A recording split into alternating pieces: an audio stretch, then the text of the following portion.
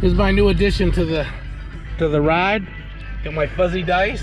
I need to do something about this. It's kind of in an awkward spot. I'd either want it up higher or I want it lower.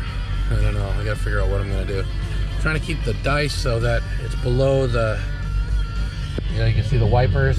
So I want to have it so that it doesn't really interfere with my view. I don't want to get pulled over. But it looks good, you know. The white dice and I get the I'm all pimped out here. anyway, all right, let's go. Be strong.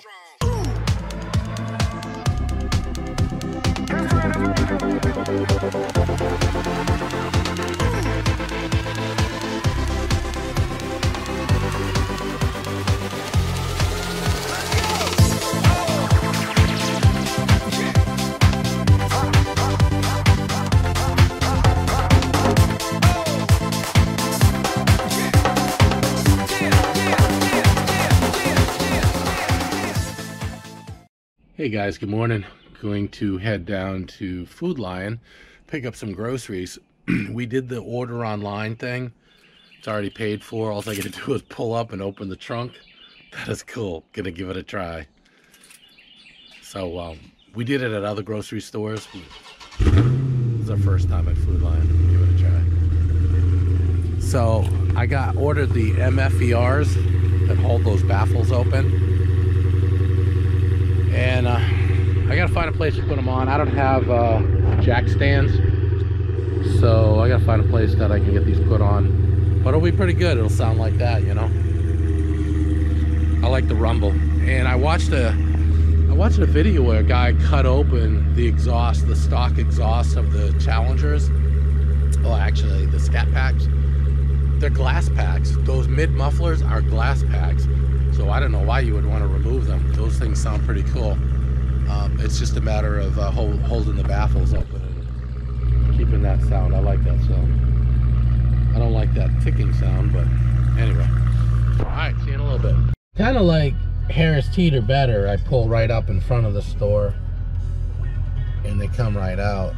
Um, I called, I don't know, maybe about seven minutes ago not a big long wait, but haven't seen anybody yet. I called, you call this number.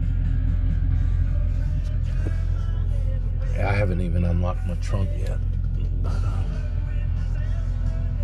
I'd imagine they come out here and put it in the trunk like the other place does. You guys like Molly Hatchet? Oh man. He's like a one-hit wonder, but I remember when I was in college. That now I'm dating myself. That was that was awesome. Cranking Molly Hatchet and cruising in my Camaro. I had a 400 small block in my Camaro. So we pulled the 350 up, put a 400 in it, and uh, it was a pretty good motor. But uh, yeah, I missed that car. 70 Camaro. I remember the seats weren't high back; they were like low back seats. It was it was little different than I didn't have seat belts in it. I don't know what. The car must have been a rebuilt wreck or something. I only paid 500 for it. Didn't have seat belts. People would freak out. They get in my car, had all this horsepower, didn't have any seat belts. that was awesome though. But it it sounded pretty good when you revved it. Oh man, it was pretty pretty tough. I put the engine in, I didn't realize I needed that flywheel. I used the 350 flywheel and the flywheels were different on the 400 small block versus the 350 the harmonic balancer um, the whole car like shook. I quickly put the new flywheel in it and uh, it was a lot better. But it was a fun ride. Uh, some of my fun cars yeah that I loved my uh, I had an IROC Z. That was a pretty good car and I had a Firebird Formula. My favorite car was that Firebird Formula believe it or not uh, 19 80 Formula. Dog motor had a 301 four barrel in it. It just uh, didn't have much power at all. sounded good when you'd step on it, but it didn't go anywhere. Um, didn't have much horsepower at all. But uh, good looking car, man. Oh man. I wouldn't mind getting another one of those. Just a, it was just a fun to cruise around car. Seats didn't recline though, which was kind of a pain. Especially in my younger days, I would have liked the reclining seats, but it's amazing. I used to fit in the back seat of these cars when we were little. when we were younger. Anyway, too much information. So I don't know. I've been here for uh, almost 10 minutes. I guess they're shopping my groceries now. I thought they just put it in the fridge somewhere. When I called, they said, okay, we'll let them know. So, all right. See how long this takes. We already paid for it, so it's just a matter of them putting in my car. Pickup time was at 12. It's uh, it's 12:21 right now. So, anyway. all right. See you in a little. All right, so it is now 12:30. A guy pulled up next to me, got his groceries, and then she came over and asked me, and he said, she said, "Did you call?" And I said, "Yep." I guess uh, she never got the memo, so that's. Uh, so it's been 20 minutes now. Wow. All right. I don't know what happened there.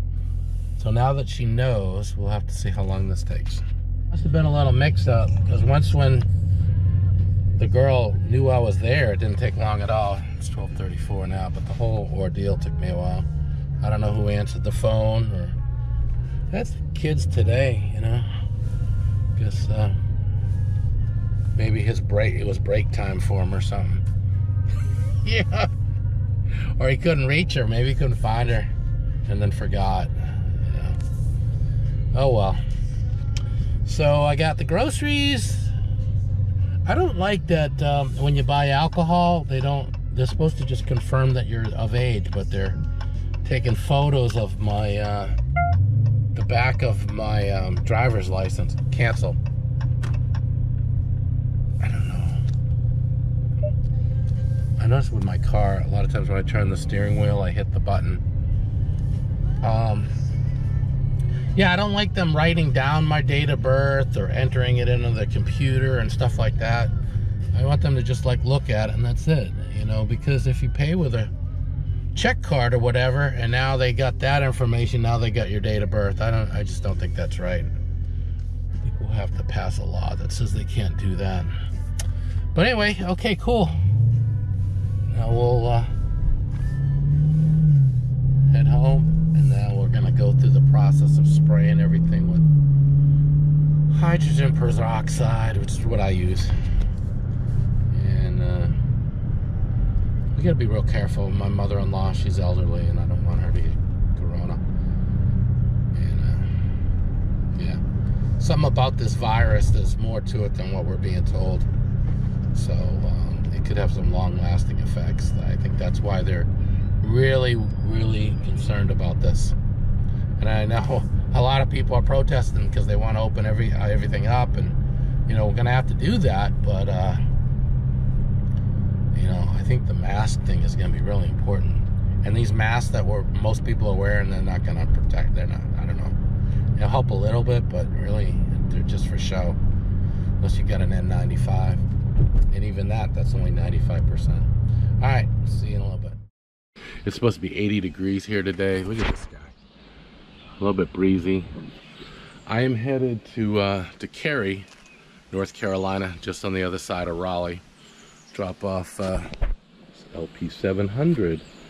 Um, I bought this a while ago. It's a station monitor from a ham station. It shows waveforms, um, power output, uh, trapezoidal. You can show if your amplifier is linear. It's, uh, it's a pretty cool station monitor. I paid a lot of money for this thing. Uh, with the three modules and the monitor, it was $1,200. Uh, taking a loss, I'm gonna sell it. Things like almost brand new, but um, I have to purge some of the stuff in my ham shack. I got way too much stuff. So anyway, uh, to a good friend of mine I used to work with, and uh, start with a cold start.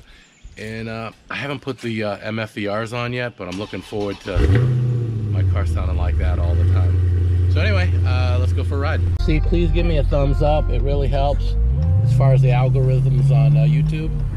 And uh, I'll give you a little throttle.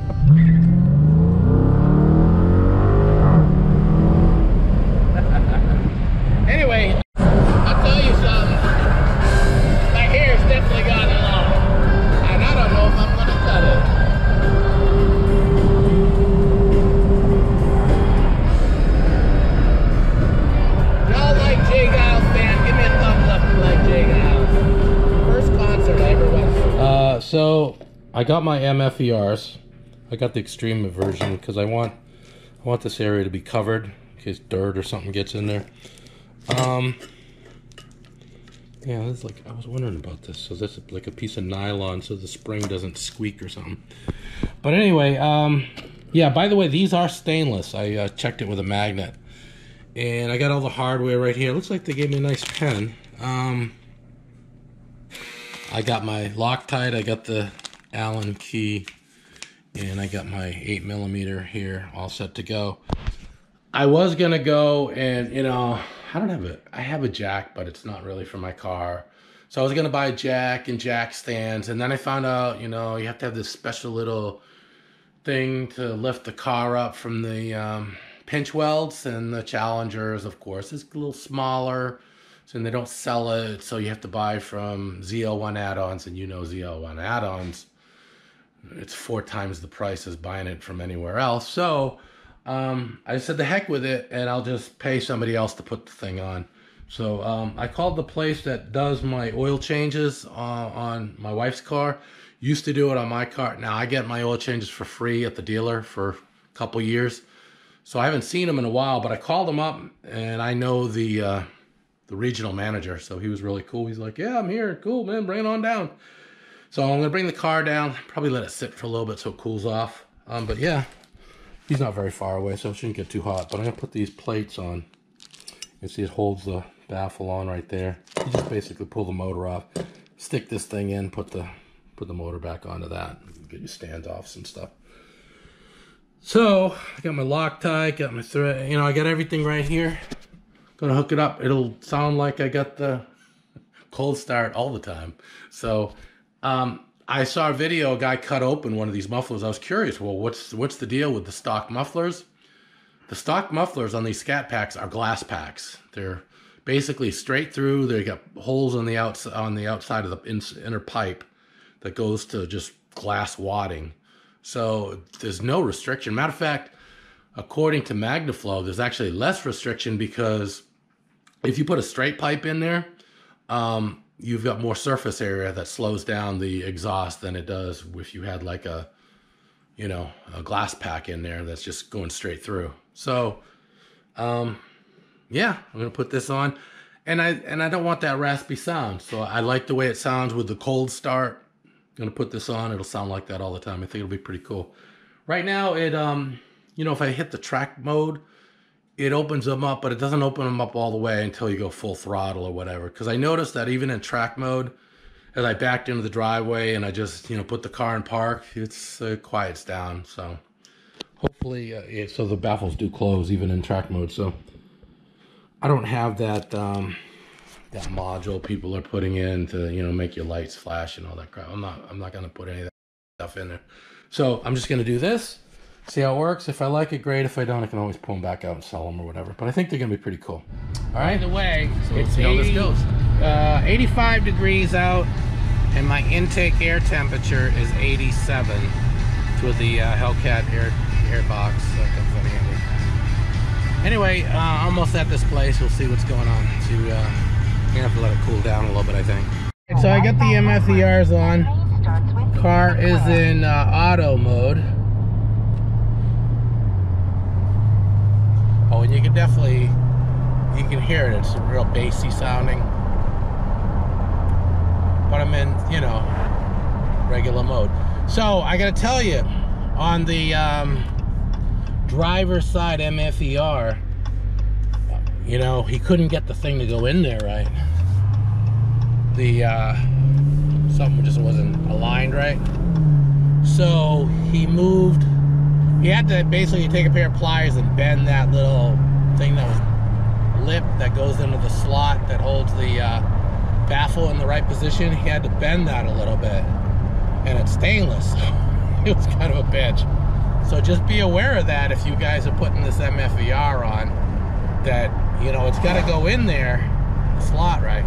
Also, as he was tightening it up, he's like, "Geez, like, it's tight, but it can keep turning," and he doesn't you know, don't want to over tighten. He's worried about the plastic. So, but we use the blue Loctite and stuff. So,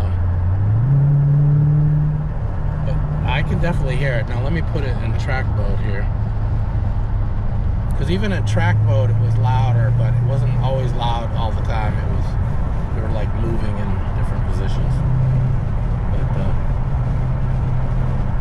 can't really step on it here, but uh, you know, I got cars in front of me, so we let him get ahead of me a little bit. and I'll give him some gas.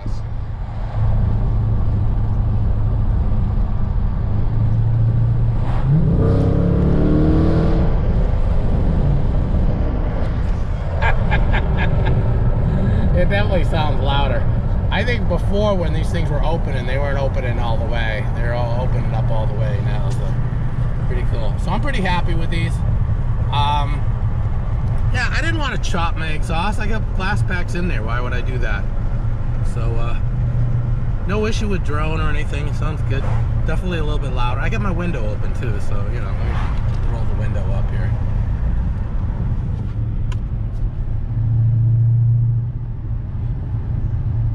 And I can hear a little bit of cracks and pops and so but I'm in track mode right now. Let me put it in auto.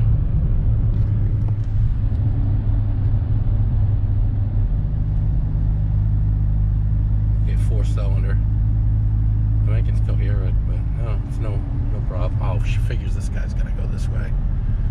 Oh yeah, yeah. All right, so um, pretty cool. I'm pretty happy with these things. Oh, what is he gonna do? Oh, he's gonna cut through the gas station so he doesn't have to wait for the light. Neat. All right, so the car's hot. It's not a cold start, but as you can hear it, it sounds almost as loud as it is when you do a cold start. A little bit less, but I think because of the RPM or whatnot. To compare it to my cold starts. All right, later. All right, we're gonna go for a little drive here. Get the MFERs on. I think there's a car meet tonight, but I'm not exactly sure. I saw it as I was kind of scrolling through, and then and then I found it again. If you guys are the same as me and have a hard time finding these meetups, because there's like a zillion Facebook pages, Instagram, and everything else, I just can't figure out. Why am I wearing these? I can put my sunglasses on. Um, but yeah, I'm having a hard time finding finding the meetups. and then the other thing is on my Facebook, it used to show. It used to show, you not just my friends. It used to show my groups posts, but now it doesn't do that anymore. Um, oh, and by the way, I put these. Uh, in case you can see it on my glasses, I put this like rubber gasket stuff behind it. Same stuff that came with the louvers uh, to keep air from coming around my glasses. Oh, I think that's something. There it is right there. So, let me hold on. Let me go. Let him go by.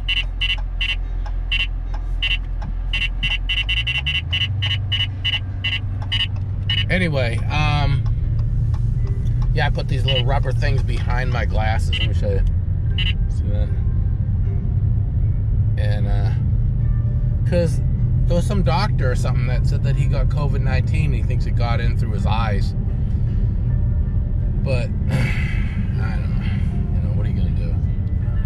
I don't think I'm going to get it from in my car, but I go out to meets and stuff, I'll be wearing my sunglasses.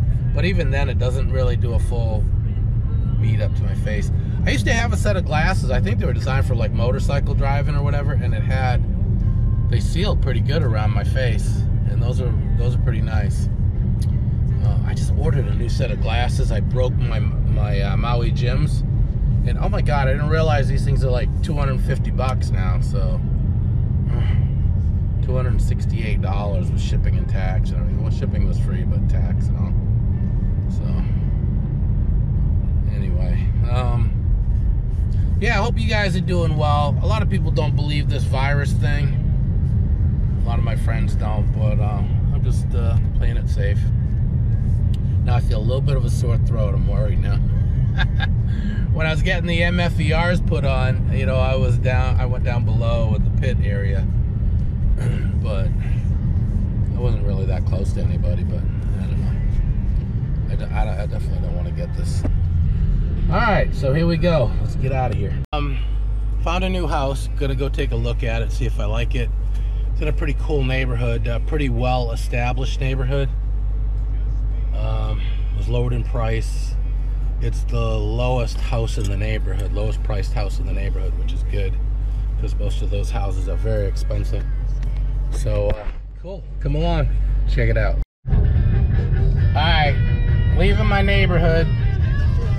Y'all don't speed in your known neighborhood. I don't understand why people do that. Go slow through your neighborhood where kids are all walking around and stuff. Don't be a dick. Do your burnouts after you leave your neighborhood in someone else's neighborhood. anyway, got my J. Geils band on. Got my fuzzy dice. And um, I got the uh, MFERs on. Let me put down the windows a little bit. You can hear it. Low rumble.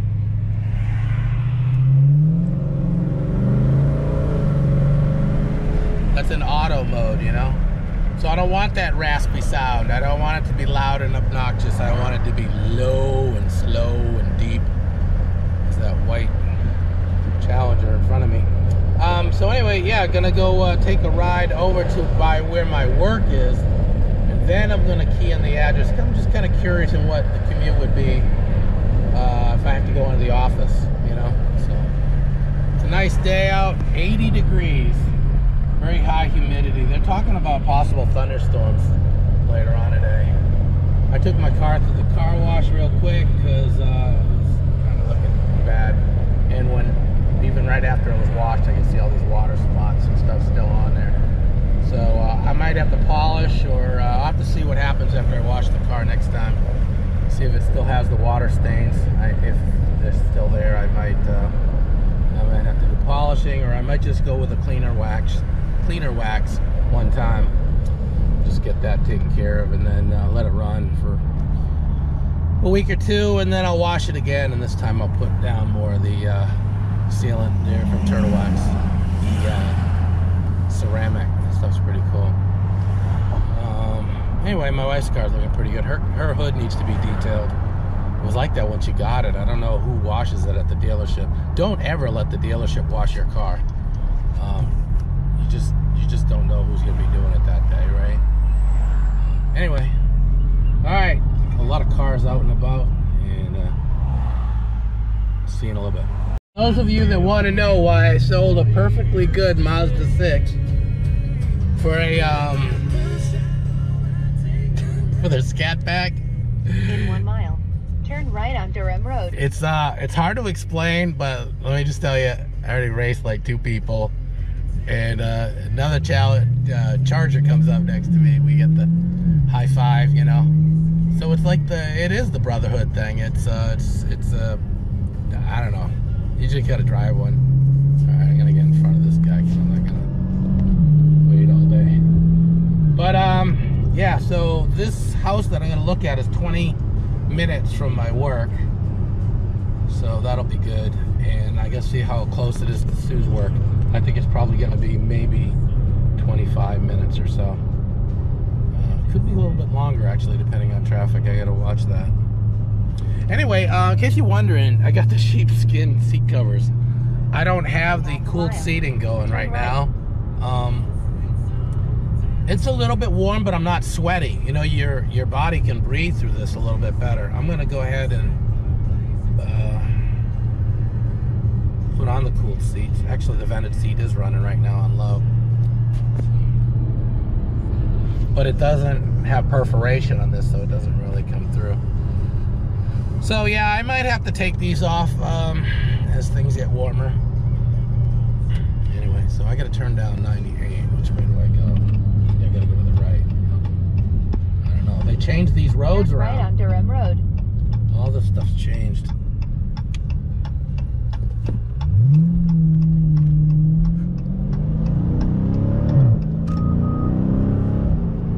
I do like these MFERs, man. No matter what mode I'm in. Continue for 10 minutes. I'm in track mode right now because I was kind of running somebody, but but even in economy mode, it sounds uh, deep and bassy.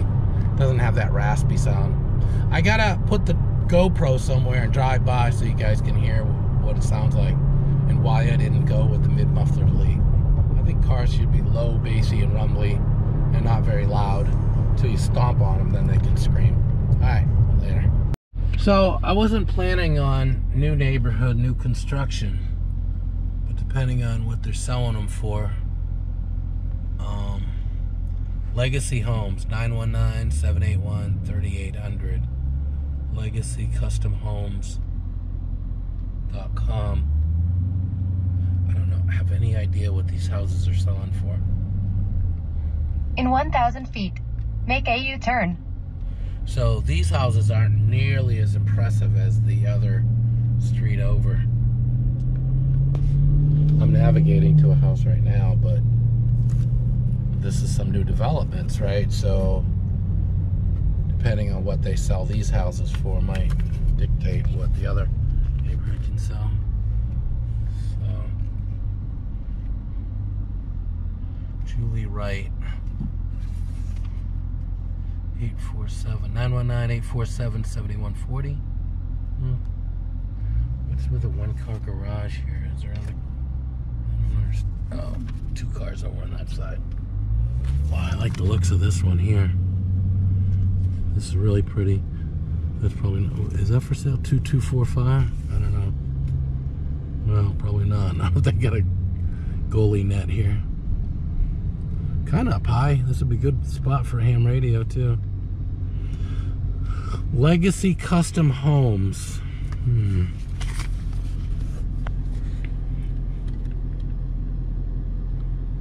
No idea what these houses are selling for. Anyway, I'm navigating to something, so let me go to where I'm navigating and check that out. But this is uh, this is good to know. So yeah, these these houses here are really nice. I'm gonna have to see how much these are selling for.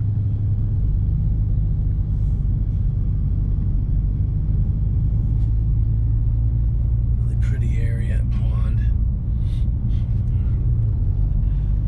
Turn left on Viceroy Drive. See if we can show you some of these other houses.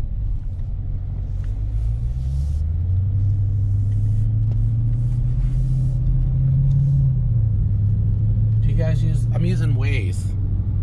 I like that I can run that right on In a quarter of a mile. Turn right on Old Creedmoor Road. three car garage right there.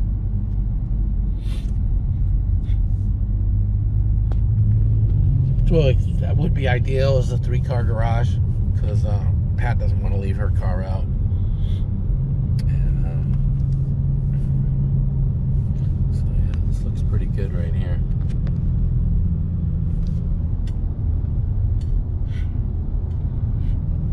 I don't know. They might be a little out of our budget. I can stretch a little bit, but I don't want to go Turn right on Old Creedmoor Road.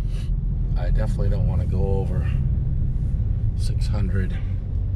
But anyway, okay, so let's go check out this other house. Alright, so I like it already that this street is a dead end. No outlet.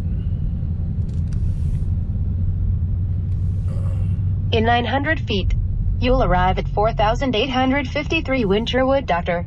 Your destination will be on your left. so it's an established neighborhood.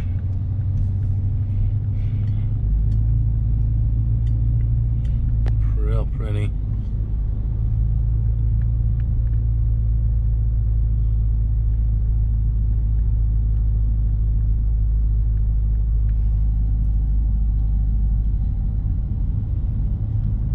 These little posts. You've arrived. Destination is on your left.